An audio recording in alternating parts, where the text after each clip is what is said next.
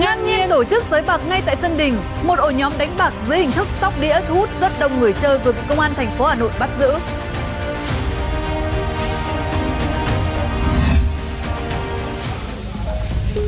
Bốn người thiệt mạng trong vụ cháy nhà trên đường Cách mạng tháng 8 ở thành phố Hồ Chí Minh.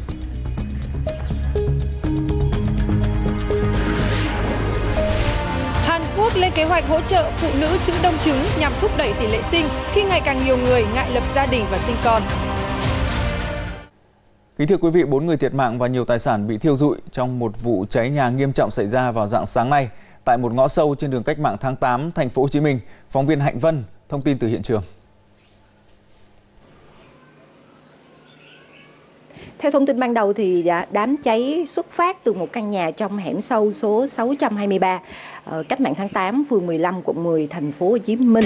Người dân xung quanh đã phát hiện và lao vào chữa cháy nhưng bất thành. Ờ, đám cháy bùng phát ngày một dữ dội kèm theo những tiếng nổ lớn. Lực lượng chức năng phòng cháy chữa cháy và cứu nạn cứu hộ quận 10 đã phối hợp cùng nhiều đơn vị khác để chữa cháy. Ờ, sau hơn một tiếng khẩn trương chữa cháy thì đám cháy đã được dập tắt hoàn toàn. À, bước đầu thì lực lượng chức năng xác định đã có 4 người thiệt mạng trong đám cháy. À, đám cháy cũng đã lan rộng ra hai căn nhà bên cạnh. À, tuy nhiên thì may mắn không có thương vong về người. Lực lượng chức năng hiện đang xác định à, thiệt hại về tài sản. Thưa quý vị, theo Công an thành phố Hà Nội trong những ngày Tết vừa qua, thống kê tại các bệnh viện thì số nạn nhân bị tai nạn do pháo nổ, chất nổ tăng hơn 50% so với năm trước. Tổng số khám cấp cứu tai nạn do vũ khí vật liệu nổ tự chế khác đó là 82 trường hợp, trong đó thì 5 trường hợp tử vong, tăng 3 ca. Các tổn thương để lại chủ yếu là dập nát bàn tay, hoại tử, để lại di chứng nặng nề và điều trị tốn kém. Nhiều trường hợp tai nạn thương tâm xuất phát từ việc tự sản xuất pháo nổ qua các clip hay bài viết hướng dẫn trên mạng xã hội. Đa số nạn nhân là các em học sinh. Từ con số đáng báo động trên, lực lượng chức năng khuyến cáo người dân không sản xuất, buôn bán, đốt các loại pháo trái phép, chỉ sử dụng các loại pháo hoa của Bộ Quốc phòng đã được cấp phép tại những nơi không gian thoáng để phòng ngừa cháy nổ. Bất chấp lệnh cấm cá độ, cờ bạc đến hệ lại lên vào dịp Tết, nhiều người vẫn tham gia sát phạt đỏ đen. Mới đây, Công an huyện Phú Xuyên, Hà Nội vừa triệt phá một ổ nhóm đánh bạc dưới hình thức sóc đĩa. Đang nói là nhóm đối tượng này tổ chức ngay tại sân đình để thu hút người chơi.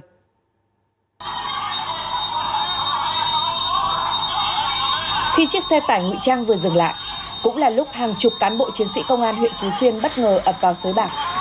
Gần 20 con bạc bị bắt giữ tại chỗ khi đang sát phạt nhau dưới hình thức sóc đi ăn tiền. Tiền mặt cùng nhiều tăng vật đã bị thu giữ. Tại cơ quan công an, các đối tượng đều thừa nhận hành vi đánh bạc. Tất cả mọi người một mặt thì chắc được khoảng 2-3 triệu, 3-4 triệu vậy thôi. Nghĩ là ngày Tết thì chơi vui thôi, mình cũng không nghĩ là vi phạm pháp luật nhưng mà sau khi bị bắt thì lên đây thì các anh nói mới biết. Hầu hết các con bạc đều là người cùng thôn. Để thu hút người chơi, sòng bạc này thường xuyên được mở tại các khu vực đình chùa trên địa bàn và không cố định về địa điểm. Đồng thời các đối tượng cũng bố trí người đứng bên ngoài cảnh giới.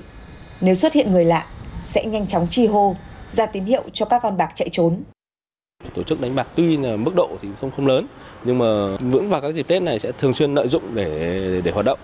Thì ờ, đơn vị sẽ có ừ, trực tiếp làm mạnh xử lý ờ, điểm đối với những đối tượng mà có biểu hiện à, tổ chức đánh bạc để làm thay đổi cái nhận thức à, của à, quần chúng nhân dân về việc mà không lợi dụng cái dịp lễ Tết để tổ chức hoạt động tệ nạn xã hội. Đánh bạc là hành vi vi phạm pháp luật. Người đánh bạc với số tiền trên 5 triệu có thể bị phạt tù từ 6 tháng đến 3 năm. Hiện lực lượng chức năng đã tạm giữ các đối tượng liên quan để tiếp tục điều tra làm rõ hành vi đánh bạc. Mặc dù là một trong những nơi sôi động và rực rỡ nhưng tại nhiều khu vực tại thành phố Hồ Chí Minh vẫn còn đâu đó hình ảnh những người lang thang cơ nhỡ cần được giúp đỡ. Để chấm dứt cảnh lang thang ăn ngủ nơi vỉa hè đường phố, thành phố Hồ Chí Minh đã mở đợt cao điểm tập trung các hoàn cảnh lang thang cơ nhỡ trên địa bàn đưa vào các cơ sở bảo trợ xã hội. Tại Trung tâm hỗ trợ xã hội thành phố Hồ Chí Minh, nhiều người vô gia cư không chỉ được hỗ trợ chỗ ăn, chỗ ở tạm thời mà còn được giúp đỡ hồi gia. Đối với những trẻ em không có gia đình sẽ được chuyển tới Trung tâm công tác xã hội, giáo dục dạy nghề thiếu niên thành phố Hồ Chí Minh để các em được học văn hóa, học nghề. Đến nay thì Trung tâm hỗ trợ xã hội thành phố Hồ Chí Minh đã tiếp nhận và hỗ trợ hơn 1.000 người lang thang vô gia cư. Dự luật về nâng trợ cấp hàng tháng cho trẻ em tới năm 18 tuổi vừa được nội các Nhật Bản chính thức thông qua. Dự luật mới này sẽ bỏ quy định về mức thu nhập đối với các hộ gia đình được nhận trợ cấp, đồng thời tăng gấp đôi khoản trợ cấp cho trẻ em là con thứ ba trở lên, lên mức là 30.000 yên một tháng, tương đương với khoảng 5 triệu đồng. Thiếu niên từ 16 đến 18 tuổi cũng sẽ được nhận trợ cấp 10.000 yên một tháng. Đồng thời, nước này cũng tăng trợ cấp cho bố mẹ đơn thân thu nhập thấp theo truyền thông của Nhật Bản, gói hỗ trợ mới nhằm mục tiêu thúc đẩy tỷ lệ sinh tại Nhật Bản trong bối cảnh nước này tiếp tục gặp khó khăn về kinh tế và xã hội do tình trạng già hóa dân số. Cũng giống như ở Nhật Bản, Hàn Quốc cũng đang phải à, đối mặt với bài toán tỷ suất sinh thấp. Theo thống kê, con số, số con trung bình mà một người phụ nữ có thể sinh trong suốt cuộc đời mình ở Hàn Quốc đã giảm xuống còn 0,7 trong năm ngoái và đây là mức thấp hơn rất nhiều so với mức 2,1 cần có để duy trì dân số Hàn Quốc ở mức là 51 triệu dân. Để đối phó với tình trạng này, thủ đô Seoul đang lên kế hoạch hỗ trợ phụ nữ trữ đông lạnh trứng để tăng tỷ suất sinh. Ở tuổi 40, đối mặt với áp lực sinh con, chị chồng đã quyết định đông trứng. Tôi cảm thấy áp lực phải sinh con vì tuổi tác của mình nhưng lại chưa thể lập gia đình. Vì thế tôi đã quyết định đồng chứng. Quyết định này giúp tôi cảm thấy bớt căng thẳng hơn, có thể dành thêm thời gian cho bản thân và đợi đến khi thích hợp. Trước bài toán đau đầu về dân số già, thủ đô Seoul, Hàn Quốc đang lên kế hoạch hỗ trợ những phụ nữ như chị chồng đồng lạnh trứng để tăng tỷ suất sinh. Mặc dù phụ nữ độc thân có thể đồng lạnh trứng, nhưng trên thực tế, chương trình này chỉ hỗ trợ những phụ nữ đã kết hôn. Các phòng khám cung cấp dịch vụ này thường yêu cầu giấy chứng nhận kết hôn. Do đó, việc đông lạnh trứng hầu như không thể thực hiện được đối với những người độc thân hoặc các cặp đôi đồng giới.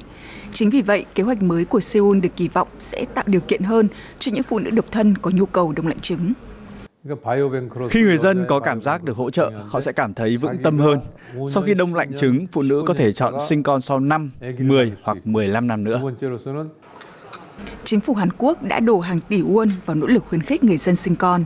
Việc tạo điều kiện cho phụ nữ đông trứng cùng với một khoản trợ cấp chi phí là nỗ lực mới nhất, được kỳ vọng sẽ thúc đẩy tỷ suất sinh tại quốc gia này. Thưa quý vị, khoảng 150 người di cư trái phép vừa bị giới chức Mexico phát hiện trên hai xe buýt tại bán đảo Yucatan của nước này.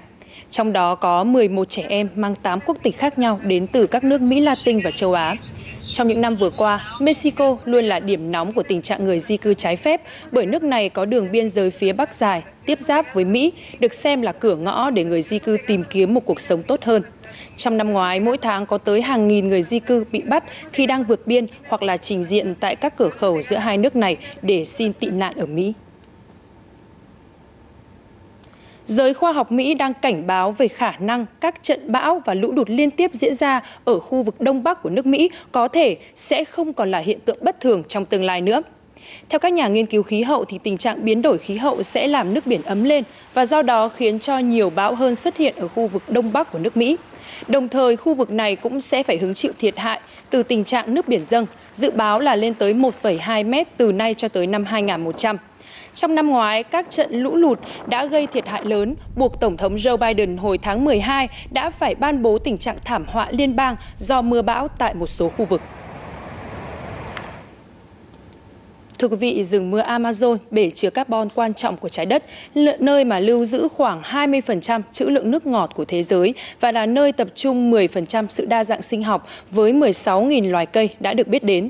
Tuy nhiên thì nạn phá rừng hạn hán rồi hỏa hoạn, nhiệt độ tăng cao đã làm sói mòn khả năng chống chịu của rừng Amazon và có thể khiến cho hệ sinh thái khổng lồ này sụp đổ vào năm 2050.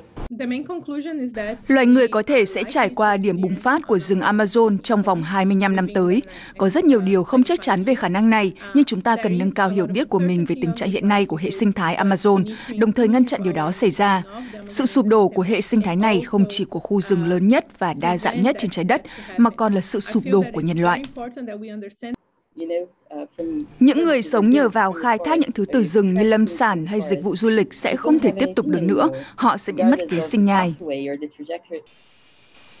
Nghiên cứu cũng cảnh báo số phận của rừng Amazon có thể biến thành thảo nguyên cát trắng, tình trạng vốn đang ngày càng mở rộng ở Amazon sau cháy rừng. Nhiều khu vực khác trong rừng có thể bị bao phủ bởi những cây cối dễ cháy, xen kẽ với các loại cỏ xâm lấn. Tuy các khu vực ẩm ướt vẫn còn, nhưng rừng sẽ có ít cây hơn và các loài thực vật phát triển nhanh như tre sẽ tăng lên. Các vùng rộng lớn của khu vực Amazon đã phải hứng chịu một đợt hạn hán tàn khốc trong những tháng gần đây. khiến các tuyến đường thủy quan trọng bị thu hẹp, mùa màng khô héo và gây ra cháy rừng. Lo ngại rừng Amazon đang chuyển từ việc lưu trữ thành nguồn phát thải CO2 là chủ đề trọng tâm khi Brazil tổ chức vòng đàm phán quốc tế quan trọng về khí hậu. Tuy nhiên, ngay cả khi các nước có rừng Amazon cam kết đẩy lùi nạn phá rừng và đạt mục tiêu này trong những thập kỷ tới, nỗ lực này có thể chỉ như muối bỏ biển nếu cả thế giới không cam kết giảm mạnh lượng khí thải gây hiệu ứng nhà kính. Nga đang bước vào giai đoạn phát triển các dự án đường sắt cao tốc mà bước khởi đầu đó là việc xây dựng tuyến đường sắt cao tốc Moscow và Saint Petersburg. Tổng thống Nga Putin đã thông báo kế hoạch này tại cuộc họp mới đây với các quan chức ngành giao thông vận tải của Nga. Thông tin cụ thể từ phóng viên Nhật Linh. Theo Bộ Giao thông Vận tải Nga, tuyến đường sắt cao tốc giữa Moscow và Saint Petersburg dự kiến sẽ được vận hành vào năm 2028. Theo đó, các đoàn tàu trên tuyến đường sắt cao tốc này sẽ chạy 15 phút một chuyến với tốc độ 360 km/h, tức là thời gian đi lại giữa hai thành phố chỉ còn 2 tiếng 15 phút thay vì gần 4 tiếng hiện nay. Việc xây dựng tuyến đường sắt cao tốc sẽ cần hơn 600 tỷ rúp, là gần 6,5 tỷ đô la Mỹ, và lô 28 đoàn tàu đầu tiên sẽ tiêu tốn 148 tỷ rúp. Tổng thống Nga Putin nhận định, việc xây dựng đường sắt cao tốc phải là giai đoạn đầu trong quá trình phát triển đường vận tải cao tốc trong nước. Ông cũng yêu cầu nghiên cứu xây dựng tuyến đường sắt cao tốc từ Moscow đến nhiều khu vực khác, đồng thời cho biết sẽ thảo luận về việc xây dựng tuyến đường sắt cao tốc từ Moscow đến Minsk với Tổng thống Belarus Lukashenko. Lần cuối mà dấu chân con người in trên mặt trăng đó là vào năm 1972. Hơn nửa thế kỷ trôi qua, giờ là lúc mà nhiều quốc gia đang quay trở lại cuộc đua chinh phục mặt trăng với mục tiêu đó là đưa con người trở lại vệ tinh của trái đất. Và điều này thì cũng đang trở thành xu hướng với các quốc gia phát triển để có thể minh chứng về tiềm năng công nghệ cũng như là những nỗ lực không ngừng để chinh phục không gian. Và theo cơ quan vũ trụ châu Âu, trên toàn cầu, hơn 100 sứ mệnh mặt trăng dự kiến sẽ diễn ra từ nay cho tới năm 2030. Xưởng chế tạo của công ty Scorpius. Họ đang chế tạo bình chứa nhiên liệu, một trong những công nghệ mới trang bị trên tàu vũ trụ sẽ đáp xuống mặt trăng. Bình nhiên liệu của chúng tôi sẽ được sử dụng trong tất cả các loại tàu vũ trụ ở quỹ đạo thấp của trái đất, lên mặt trăng, tới sao hỏa, khám phá phần còn lại của hệ mặt trời. Nó sẽ được sử dụng cho hầu hết các tàu không gian vì nó nhẹ và rất mạnh mẽ.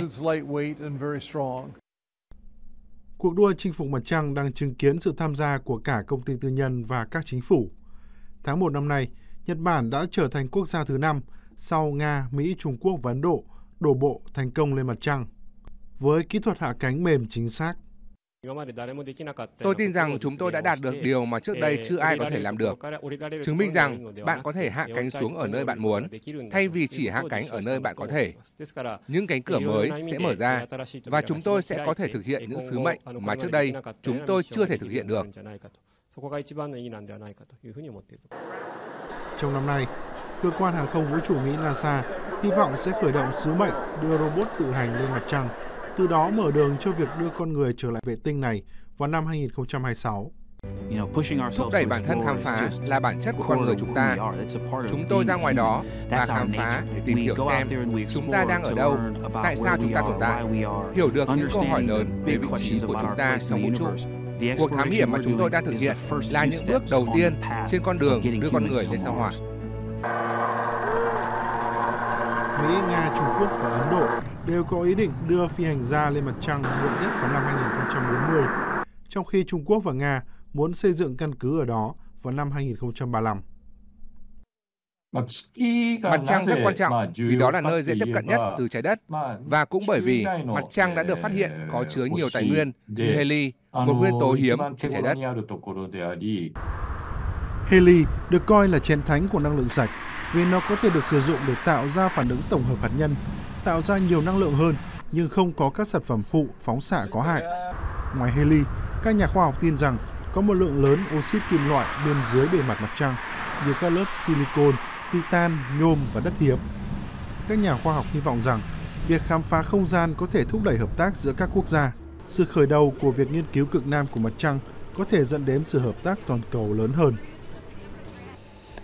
Để xác định chính xác đường đi của những đường ống dẫn dầu, điểm cáp ngầm bị hỏng hay là tìm những vật thể còn sót lại dưới đáy đại dương một cách nhanh nhất, không thể không có những tấm hải đồ. Trước đây thì hải đồ của Việt Nam thường do các quốc gia khác khảo sát, xây dựng và nắm giữ. Nhưng giờ đây với sự tiến bộ vượt bậc của công nghệ, các nhà khoa học Việt Nam đã có thể nghiên cứu cho ra đời những tấm hải đồ phục vụ cho phát triển kinh tế biển, cứu hộ cứu nạn và an ninh quốc phòng. Những tháng đầu năm, các tàu nghiên cứu biển của đoàn đo đạc biên vẽ hải đồ và nghiên cứu biển, Bộ Tham mưu Hải quân lại bắt đầu một hành trình dài đến các vùng biển xa xôi của Tổ quốc để khảo sát, lấy mẫu phân tích, xây dựng hải đồ. Con tàu 888 với 26 cán bộ và quân nhân chuyên nghiệp hôm nay sẽ bắt đầu hành trình 8 tháng khảo sát đáy biển tại khu vực quần đảo Trường Sa. Tại khu vực quần đảo Trường Sa, nơi có điều kiện thời tiết và địa hình phức tạp, dù vậy, cán bộ chiến sĩ trên tàu vẫn quyết tâm hoàn thành tốt nhiệm vụ ờ, đo đạc, khảo sát và thu thập số liệu với những trang thiết bị hiện đại nhất hiện nay thì con tàu mang tên Trần Đại Nghĩa có thể thực hiện các nhiệm vụ như là đo đạc, khảo sát địa vật lý biển, khí hậu hải dương ờ, ở tất cả các vùng biển. Và với những thiết bị đo mẫu nước hay là chân đáy như thế này thì có thể đo ở độ sâu từ 800 tới 1.000 mét, phục vụ điều tra cơ bản và nghiên cứu khoa học. Những khảo sát về mẫu nước, đo địa chấn, từ trường sẽ được cập nhật chính xác về hệ thống để phân tích, giúp hoàn thiện hải đồ. Đây cũng là công cụ quan trọng để lực lượng cứu hộ cứu nạn trên biển, những ngư dân nắm bắt chính xác đặc điểm địa hình, vị trí để vận hành tàu trên biển an toàn. Số liệu này đóng góp rất quan trọng trong cái việc mà chúng ta à, bảo vệ chủ quyền quốc gia Đặc biệt là Viện à, Hàn Lâm Khoa Công nghệ Việt Nam đã kết hợp với đoàn biên vẽ hải đồ và nghiên cứu biển để sử dụng những cái số liệu này trong cái thành lập cái hồ sơ xác định cái danh giới ngoài thềm lục địa của Việt Nam. Tập trung vào xây dựng con người, tổ chức biên chế, phương tiện, đồng thời đẩy mạnh việc à, hội nhập quốc tế để từng bước khẳng định vị trí vai trò của đơn vị về lĩnh vực đo đạc thành lập hải đồ và nghiên cứu biển đáp ứng các yêu cầu của tổ chức thể đạc quốc tế. Chiến lược biển đến năm 2030 được Thủ tướng Chính phủ phê duyệt xác định các mục tiêu, trong đó hạn chế thấp nhất những tác động của thiên tai. Khảo sát đo vẽ bản đồ biển chính là chủ động ứng phó có hiệu quả với biến đổi khí hậu và nước biển dâng. Tiếp tục là những thông tin văn hóa. Thưa quý vị, doanh thu phòng vé phim Việt mùa Tết đã thu về hơn 350 tỷ đồng. Đây chính là một trong những thông tin đáng chú ý sẽ được tổng hợp trong cụm tin ngay sau đây.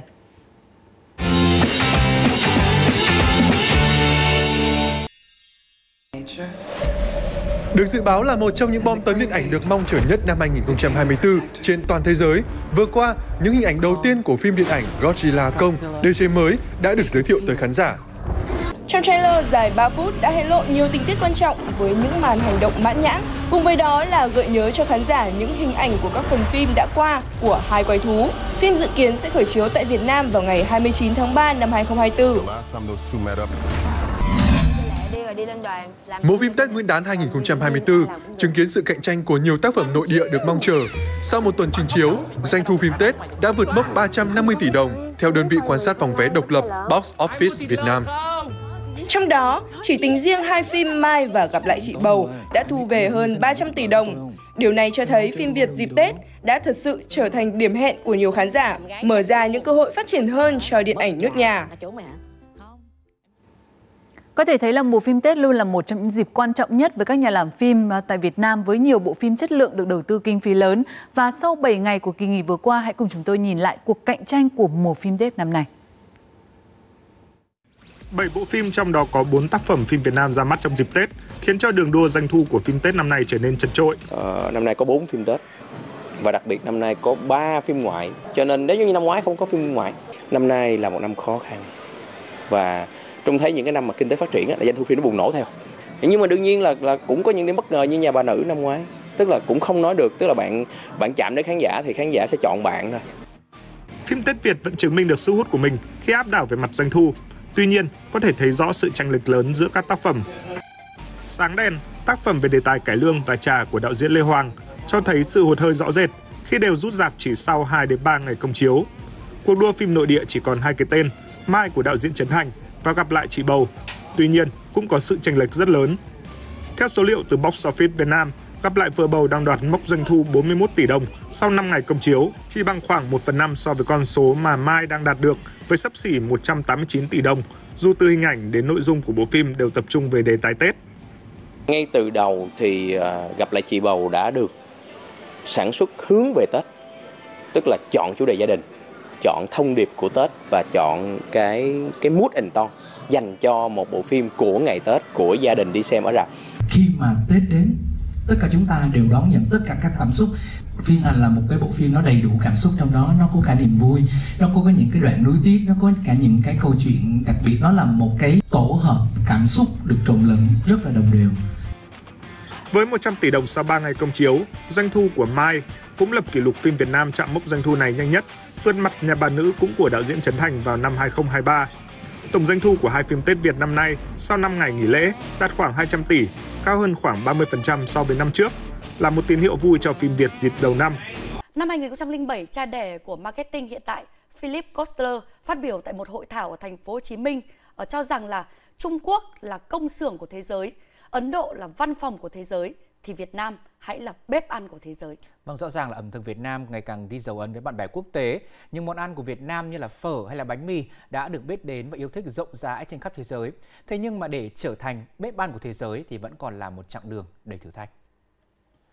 Không phải chờ tới khi những thực khách là người nổi tiếng và có tầm ảnh hưởng lớn như Tổng thống Mỹ Barack Obama ăn bún chả, hay Thủ tướng Australia Anthony Albanese thưởng thức món bánh mì truyền thống Hà Nội, thì ẩm thực Việt mới được biết đến. Không chỉ những người du lịch bình thường, mà cả những người làm đầu bếp chuyên nghiệp, đều đánh giá rất cao và đều thích ẩm thực Việt Nam. Việt Nam là một nơi tốt nhất trên thế giới để mà chúng ta có thể là thưởng thức ẩm thực. Sự công nhận của thế giới với ẩm thực Việt Nam ngày càng lan rộng hơn. Những món ăn của Việt Nam như phở hay bánh mì xuất hiện trong từ điển Oxford. Ẩm thực Việt cũng được vinh danh trong các cuộc bình chọn của nhiều trang báo, tạp chí du lịch ẩm thực và kênh truyền hình hàng đầu thế giới. Ẩm thực Việt Nam rất ấn tượng, có sự khác biệt rõ rệt giữa các vùng miền. Giàu nguyên liệu, tươi ngon, tốt cho sức khỏe. Đó là những đặc tính tạo nên những món ăn của Việt Nam có hương vị độc đáo, khác biệt. Ẩm thực Việt có đủ tiềm năng và tiềm lực để khẳng định thương hiệu và trở thành bếp ăn của thế giới. Thế nhưng, để điều đó trở thành hiện thực, vẫn còn nhiều điều cần phải làm. Điều chúng ta cần là phải tạo nên những món ăn và những nhà hàng đạt tiêu chuẩn quốc tế. Chúng ta hãy nâng cao chất lượng, trước hết ở trong chính nhà hàng của chúng ta, từ món ăn, chất lượng phục vụ, thiết kế, âm nhạc, tất cả phải được thực hiện một cách cẩn thận và kỹ lưỡng với tiêu chuẩn quốc tế. Đầu tiên, Việt Nam cần tổ chức nhiều chiến dịch quảng bá hơn nữa. Tôi thấy đôi khi người Việt Nam còn chưa tự tin lắm về các món ăn của mình. Họ có vẻ hơi dè dặt vì ẩm thực truyền thống của Việt Nam khá bình dị, nhưng hương vị của các món ăn Việt thật khiến người ta phải tấm tắc ngợi khen.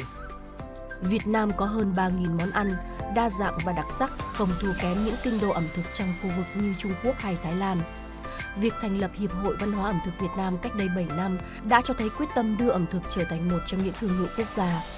Trên con đường trở thành bếp ăn của thế giới, việc nâng cao chất lượng và giá trị của ẩm thực Việt sẽ góp phần thu hút và kéo du khách đến Việt Nam nhiều hơn, nâng cao vị thế cạnh tranh của điểm đến.